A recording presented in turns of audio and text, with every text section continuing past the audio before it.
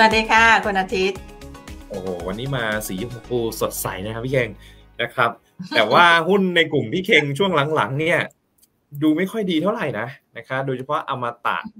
แล้วก็ตัว WHA นะครับ ราคาหุ้นมีการปรับตัวลดลงมาตลอด แต่ WHA หลังๆ เริ่มสู้นะครับมีปัจจัยอะไรพอที่จะ support ให้ราคาหุ้นเขาฟื้นตัวขึ้นมาได้ไหมเดี๋ยวให้พี่พี่เข่งวิเคราะห์ให้ฟังเลยนะครับ ค่ะ ได้ค่ะ สำหรับหุ้นกลุ่มนิคมนะคะ ถามว่าจะมีปัจจัยอะไรหนุนให้ราคาหุ้นมันปรับตัวขึ้นนะคะ ก็ต้องบอกว่าต้องเป็นเรื่องของโมเมนตัมของการขายที่ดิน หรือโมเมนตัมของลูกค้าที่เข้ามานะคะ ซึ่งตอนนี้เรายังเชื่อว่ามันเยอะมากนะคะ เยอะมากๆนะคะนักลงทุนจีนเนี่ย ลังไหลเข้ามาเยอะมากเลยนะคะ ข่าวล่าสุดนี้คือบอกว่าปกติอะค่ะ เวลาเขาจะมาลงทุนต่างประเทศเนี่ย ส่วนใหญ่จะเป็นบริษัทใหญ่ๆ ถูกไหมคะคุณอาทิตย์ ส่วนใหญ่จะเป็นเทียวันออกมาก่อนนะคะ แต่บอกว่าตอนนี้ไม่ใช่แล้วนะคะ ตอนนี้บริษัทระดับกลางนะคะ OEM อะไรพวกนี้ก็เริ่มที่จะ ย้ายฐานการผลิตออกมาจากจีนแล้วนะคะ บอกว่าในเมืองจีนเนี่ยการแข่งขันมันสูงมากนะคะ ก็เลยต้องแบบขยายตลาดออกมาเพื่อการเติบโตในอนาคตนะคะ เพราะฉะนั้นเราก็มองว่าประเทศไทยเนี่ยก็ต้องเป็นประเทศหนึ่งนะคะ ที่จะได้ประโยชน์จากการย้ายฐานการผลิตมาจากจีนนะคะ ซึ่งมันก็จะอินไลน์กับการที่เราไป สัมภาษณ์บริษัทนิคมต่างๆนะคะว่าลูกค้าจีนเนี่ยตอนนี้เยอะมากแบบ 90%ที่เข้ามา enquiry ที่เข้ามานะคะเป็นลูกค้าจีนนะคะแล้วบางรายก็เป็นลูกค้าแบบรายใหญ่ด้วยนะคะต้องการที่ดินแบบพันไร่อะไรเงี้ยค่ะมีมีมีแบบนี้ด้วยนะคะทีนี้เรากลับมาที่ WHA ค่ะกลับมาที่ WHA นะคะเมื่อวานเป็น ประกาศแผน business plan ปี 2024 นะคะแล้วก็เป้า 5 ปีด้วยนะคะก็สำหรับปี 24 เนี่ยก็จะเริ่มที่ยอดขายที่ดินนะคะก็ตั้งเป้าอยู่ที่ 2,275 ไร่นะคะจะเห็นว่ามันน้อยกว่าปีที่แล้วนะคะแต่ว่าจำได้ไหมคะปีที่แล้วเขาเริ่มต้นด้วย 1,750 ไร่ แล้วมันก็จบได้ 2,700 ไร่นะคะแล้วอันเนี้ยต้องบอกว่าเป็นเป้าแรก นะคะ แสดงว่ามีโอกาสที่เขาจะปรับ t a r g e t ขึ้นได้อีกนะคะ ถามว่าโอกาสมาจากไหนมาจากโมเมนตัมที่เขาเห็นลูกค้านะคะ เดือนมกราคมที่ผ่านมาเนี่ยเขาบอกมีลูกค้าเนี่ยติดต่อเข้ามาเยอะมากนะคะ มี 500 ไร่มีพันไร่นะคะ แล้วก็เขามีลูกค้าที่เป็น high potential คือลูกค้าที่คุยคุยกันอยู่ แล้วก็ potential มากกว่า 50%แล้วที่น่าจะปิดดิวได้ปีนี้เนี่ย ก็อีกจำนวนเยอะเหมือนกันนะคะคร่าวๆเราคิดว่าประมาณครึ่งหนึ่งของ t a r g e t ที่เขาตั้งไว้นะคะเพราะนั้นเราก็เลยไม่กังวลนะคะว่าตั้ง t a r g e t เอ่อมันจะดูน้อยลงจากปีที่แล้ว หรือว่าน้อยลงจากเป้าของเราที่ 2004 เนี่ย เราเชื่อว่ามันมีอัพไซด์ค่ะคุณอาทิตย์ อันที่สองนะคะอืมครับค่ะ ทางด้าน logistic logistic ก็คือจะเป็นพวกของโรงงานให้เช่า warehouse ให้เช่านะคะ ก็ตั้งเป้าเซ็นสัญญาใหม่ 2,000 2แสนตารางเมตรนะคะ อันนี้ก็ลดลงนิดหน่อยจากปีที่แล้วนะคะ ซึ่งปีนี้อาจจะมี new เขาเรียกอะไรนะจะมีอาจจะมี new location เข้ามาด้วยนะคะ อันนี้ก็ ไม่ค่อย concern นะคะ เพราะว่าตรงนี้ส่วนใหญ่เป็นเรื่องของค่าเช่า ซึ่งสัดส่วนค่าเช่าเมื่อเทียบกับรายได้ของตัว WHA เนี่ยมันก็จะไม่ได้เยอะมากและอีกอย่างหนึ่งเซ็นสัญญาปีนี้เนี่ยมันก็จะไปลูกค้าก็จะ move in ปีหน้าประมาณนั้นนะคะ ที่สำคัญที่จะไฮไลท์อันหนึ่งคือเรื่องขายแอสเซทนะคะขายแอสเซทปีที่แล้ว 3,500นะคะวันอาทิตย์ขายเข้า WHA RT กองเดียว แต่ปีนี้จะเป็น 5,300 ล้านบาท นะคะ ขายเข้าสองกองค่ะ มี WHA RT กับ WHA IR นะคะเออพอดีในนี้เนี่ยถ้าเป็น WHA IR เนี่ยมันจะเป็นแอสเซทของ WHA RT เอ่อของ WHA เขาร้อยเปอร์เซ็นต์เพราะนั้นการรับรู้รายได้เนี่ยเขารับรู้ตรงนี้ร้อยเปอร์เซ็นต์แต่ถ้าเป็นกอง RT เนี่ยเอ่อบางจะมีสัดส่วนที่เป็นของ joint venture ด้วยนะคะ ซึ่งปีนี้เนี่ยสัดส่วนของ joint venture อาจจะสูงนิดนึงนะคะ แต่ anyway รวมๆกันแล้วเนี่ยเราก็มองว่ากำไรที่จะรับรู้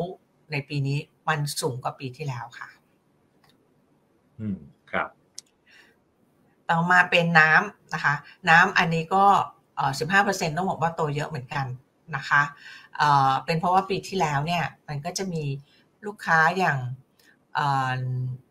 ปิโตเคมเขาปิดโรงงานปิโตเคมที่ใช้น้ำเยอะมากนะคะเขาปิดโรงงานเนี้ยค่ะ น้ำก็เลยใช้น้อยลง เพราะฉะนั้นถ้าปีนี้เขากลับมาออเปเรตมันก็เลยจะเป็นโกรธที่ค่อนข้างสูงนะคะอันที่น่าตื่นเต้นอีกอันหนึ่งเป็นโซลารูฟนะคะโซลารูฟเนี่ยปีที่แล้วเขาเซ็นสัญญา PPA ได้ไป 50 เมกะวัตต์นะคะปีนี้ตั้งเป้า 100 เมกะวัตต์เลยนะคะ ถามว่า aggressive ไหม คือตอนแรกก็คิดว่า aggressive นะคะวันอาทิตย์ แต่พอรู้ว่าเดือนมกราเขาเซ็นสัญญาไปแล้ว 58 เมกะวัตต์ ก็เลย โอเค งั้น100เมกะวัตต์นี่ไม่น่าจะมีปัญหานะคะแล้วก็จะมี renewable energy เนี่ยอีก 42 เมกะวัตต์ เพราะฉะนั้นรวมแล้วปีนี้เนี่ยจะเพิ่มมา 142 นะคะ ก็เลยจะทำให้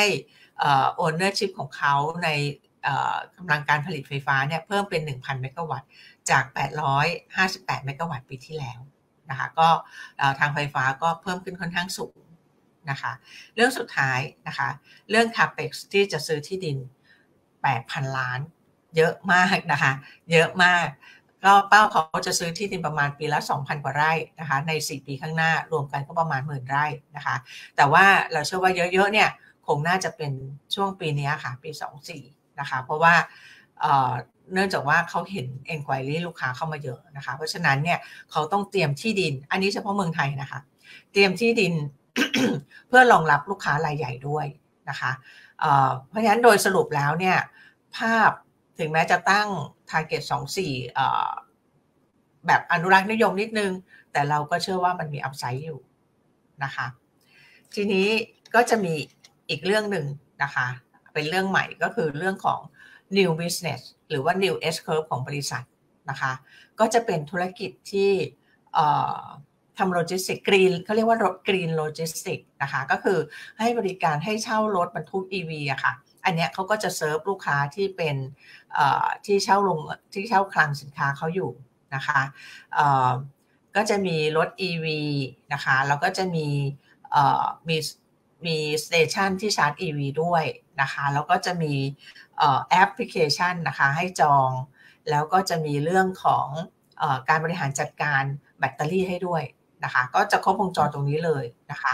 จริงๆ เริ่มตั้งแต่ปีที่แล้วแล้วนะคะ แต่ว่ามันยังเล็กๆอยู่นะคะ ปีที่แล้วเนี่ยเขาสามารถเซ็นสัญญากับลูกค้าได้ประมาณ 25 รายนะคะ ในการที่จะให้เช่ารถเนี่ยค่ะ แต่ปีนี้ทราบไหมคะ target เท่าไหร่ ปีนี้ target คือ 1,000 คันนะคะขอโทษปีที่แล้ว 25 คันนะคะ ไม่ใช่ราย ปีนี้คือ 1,000 คันนะคะ เพราะฉะนั้นเนี่ยมันจะเพิ่มขึ้น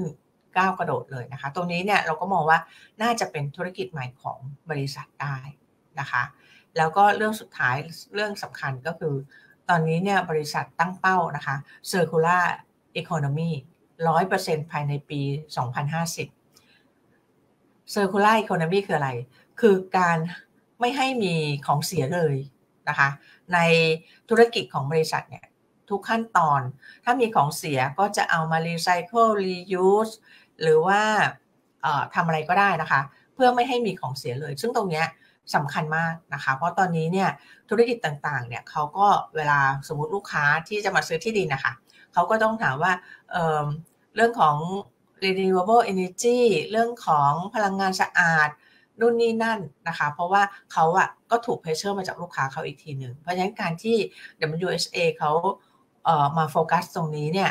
ก็จะทำให้ support ลูกค้าที่จะเข้ามาซื้อที่ดินในนิคมของเขาเหมือนกันนะคะ อันนั้นก็ก็จะเป็นส่วนเสริมส่วนหนึ่งนะคะเพราะฉะนั้นเนี่ยสำหรับ WHA นะคะ เราก็ยังชอบอยู่นะคะ เราก็ยังแนะนำซื้อนะคะ target price เรา5บาท40ค่ะคุณอาทิตย์ ครับผมขอบพระคุณครับพี่เคงครับพูดง่ายๆก็คือ ราคาหุ้นที่อ่อนตัวลงมา จากราคาเป้าหมายของพี่เคงเมื่อปลายเดือนกันยายนปีที่แล้ว ลงมาเรื่อยๆ จนถึงปัจจุบัน4บาท50 เนี่ย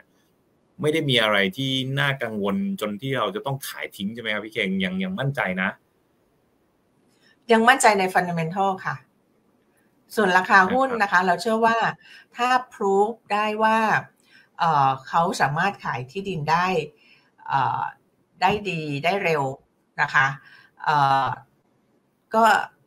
ราคาหุ้นน่าจะมีการปรับตัวขึ้นนะคะ ซึ่งเท่าที่เราทราบมาตอนนี้ค่ะคุณอาทิตย์ภายในครึ่งปีแรกเนี่ย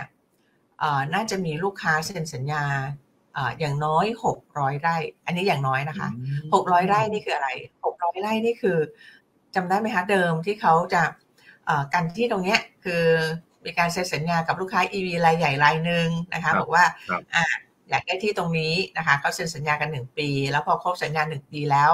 ลูกค้ารายนั้นเขายังไม่ได้ตัดสินใจที่จะลงทุนรถ EV ในเมืองไทยนะคะเขาเขาโฮอยู่นะคะเขายังไม่ได้แคนเซิลนะคะเขาโฮอยู่เพราะว่าอาจจะมีเรื่องของการขอ BOI อะไรพิเศษนิดนึงอะไรอย่างนั้นนะคะ เพราะฉะนั้นเนี่ยที่ตรงเนี้ยเขาก็เลยเอามาขายนะคะเขาก็จะมาขายให้ลาย ถามว่าย่อยไหมมันก็ไม่ได้ย่อยมากนะบางลายมันก็เป็นร้อยไร่นะคะ ก็มาขายขายให้สักสามสี่ลายอะไรเงี้ยค่ะหกร้อยไร่ตรงนี้ปรากฏว่ามีลูกค้ามาจองหมดแล้วนะคะ ตอนนี้ก็ต้องทยอยทยอยทำสัญญานะคะ ก็อันนี้ก็เพราะฉะนั้นเราก็ค่อนข้างมั่นใจว่า 600 ไร่อย่างน้อยในครึ่งปีแรกเนี่ยได้แน่ๆนะคะในนี้มันก็จะมี จากลูกค้าอื่นๆอีกนะคะ ที่เขาดิวมาตั้งแต่ปีที่แล้วเนี่ย ก็จะมาเซ็นสัญญาอีก on top จากตรงนั้นค่ะคุณอาทิตย์อืมอืมครับ แล้วแล้วถ้าคนนั้นเขาอยากได้คืนเหรอครับ พี่พี่เก่งที่ตรงนี้มันเอาให้คนอื่นไปแล้วเนี่ยเขาเขาไม่มีปัญหาเลยค่ะ เพราะว่า WHA เนี่ยเขามีการพัฒนานิคมใหม่อีกหลายนิคม นะคะ นิคมที่มีที่แล้วก็จะเป็นนิคมที่เขาจอยเวนเจอร์กับ IRPC นะคะ ตรงนั้นก็กำลังจะเปิดนะคะ แล้วก็เนี่ยแปดพันล้านตรงนี้ค่ะ มันจะมีบางส่วนโอนเข้ามาปีนี้นะคะหลายพันไร่แล้วจะเป็นนิคมใหม่ด้วยนะคะ เป็นนิคมใหม่ด้วย เพราะฉะนั้นเนี่ยที่จะใหญ่นะคะ อยากจะได้ตรงไหนเลือกได้เลย แต่ว่าอันใหม่อันเนี้ย supply น่าจะออกสักประมาณปีหน้า นะคะ แต่ว่า anyway ยังไงเนี่ยตอนนี้เขามี 3,300 ไร่ที่ available for sale อยู่อะค่ะคุณอาทิตย์ ก็ยังยังยังมีที่ให้ได้ค่ะอะมีอีกเรื่องหนึ่งที่ดูแล้วโอ้โหฟังแล้วเมื่อกี้ดูน่าตื่นเต้นขาย asset ครับพี่เก่งสามพันห้าเป็นห้าพันสองโอ้โหมันขึ้นแบบเท่าตัวเลย อันเนี้ยเขาเคยมีการประกาศที่ไหนมาก่อนหรือเปล่าฮะหรือว่าเพิ่งเพิ่งประกาศเมื่อวานในในแผนห้าปีตรงนี้เลยครับเข่งครับ คือถ้าเป็นตัวเลขนี้นะคะห้าพันสามเนี่ยเพิ่งประกาศเมื่อวานค่ะ แต่ว่าเขาเคยมีไกด์ก่อนแล้วว่า